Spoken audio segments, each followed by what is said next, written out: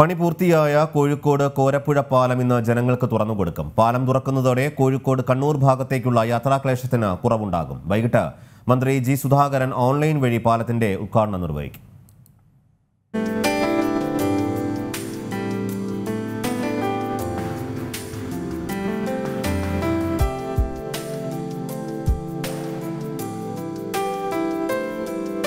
രണ്ടായിരത്തി പതിനെട്ട് ഡിസംബറിലാണ് കോരപ്പുഴയ്ക്ക് കുറുകെയുണ്ടായിരുന്ന പഴയ പാലം പൊളിച്ചു നീക്കി പുതിയതിന്റെ നിർമ്മാണം ആരംഭിച്ചത്.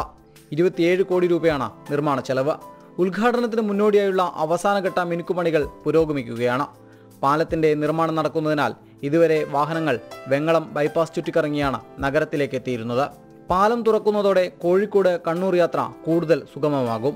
ഇത്രയും കാലമുള്ള യാത്രാ ദുരിതത്തിനൊരു പരിഹാരം. പിന്നെ കാരണം വെച്ചാൽ പഴയ പാലം ഉണ്ടാകുമ്പോൾ കിലോമീറ്റർ കണക്കിന് ബ്ലോക്ക് ആയിരുന്നു.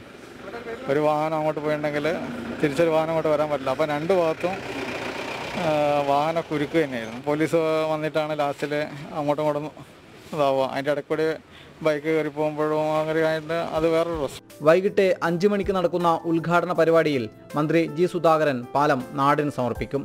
ഗതാഗത വകുപ്പ് മന്ത്രി എ കെ ശശീന്ദ്രൻ അധ്യക്ഷനാവും. എലത്തൂർ ബസ് സ്റ്റാൻഡിലാണ് ഉദ്ഘാടന ചടങ്ങ് നടക്കുക. ജനം കോഴിക്കോട്.